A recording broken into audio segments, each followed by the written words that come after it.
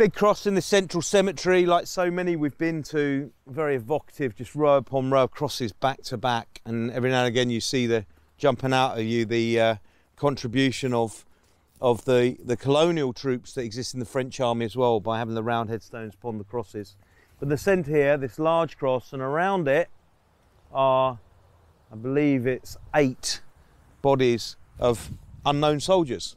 Uh, because this is a fitting place uh, to end, because we can see Verdun and the battlefield as it stretches all the way around us on the high ground. And we've talked about the cost to France of the soldiers killed in the Great War, and they needed some way of coming to terms with all of that loss across the whole country because how many of these say inconnu, unknown, unknown, unknown? And we passed on Dimogenes memorial as we came off Verdun battlefield there. And Maginot in 1919, 1920 decided they needed to pick one soldier to represent the unknown, the missing of France. And he decided that the citadel at Verdun would be the place to make that decision.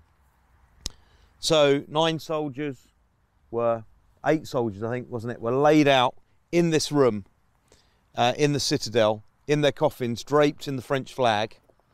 And then a young soldier, 21 year old, chap called Augustus Thin, uh, who was serving in the 132nd Infantry at the time, who'd had a fierce action at Verdun, uh, was chosen to go in and select one of those coffins that would become the unknown warrior.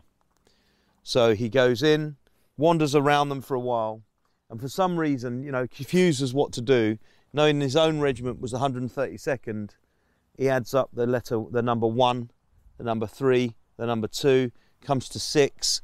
He chooses the sixth coffin. It's on that coffin he lays the lily.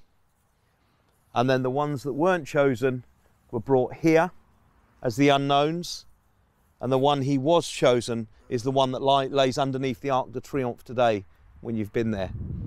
And it really is a fantastic level of detail to go to to represent the unknown for a grieving population back home. And we do a similar thing in the British Army.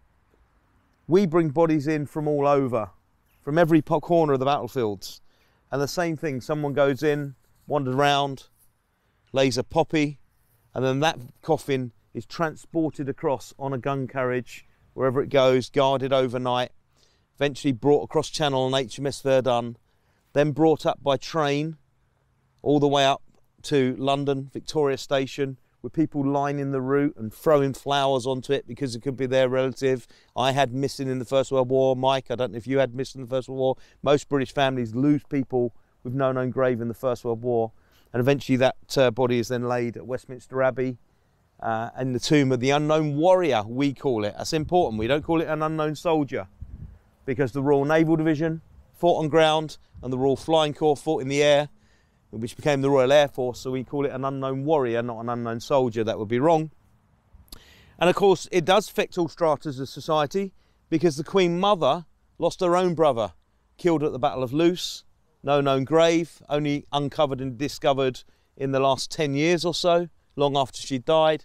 So when she marries, she lays her bouquet on the grave of the unknown warrior, tomb of the unknown warrior. The Union flag that draped over that coffin was David Railton, who was a, a padre with the 47th London Division, who one day, when he goes into an area near Armentières, sees in the corner of a garden a grave of an unknown soldier, and he it really sticks with him.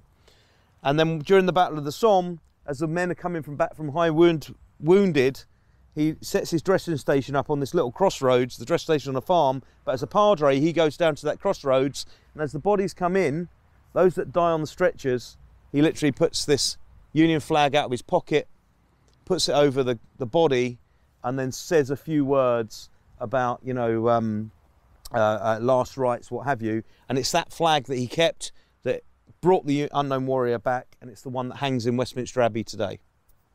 So a little tourist tip for you if you go to Westminster Abbey and you don't want to pay your £9 entrance. If you go to the side gate and say, I demand to see the unknown warrior, they will escort you up to it free of charge because you shouldn't pay. Take your photograph. You're not allowed to say, Can I just nip and look around the cathedral? Because that's wrong. Um, but every royal since then has laid their flowers on that tomb, and I'm sure it will be the same. It will be covered in funeral flowers now uh, from the Queen. Uh, so this is a really important part in French military history here. The unknown warrior for France starts on this spot. And these are the guys that could have been under the Arc de Triomphe if they'd been chosen. And if you just wander around and you look at all of those numbers of regiments on both sides, you can really see the amount of French soldiers that go through Verdun. There are very few gaps when you look at the regiments of Zouaves, the 2nd, the 3rd, the 4th and the 9th, Tirailleurs, the 1st, the 2nd, the 3rd, the 5th, the 7th, the 8th. You know, every unit of all these guys serve at Verdun. So it's a really fitting place for end our tour, really, because, as Mike said earlier, they did not pass, and this is the cost of it.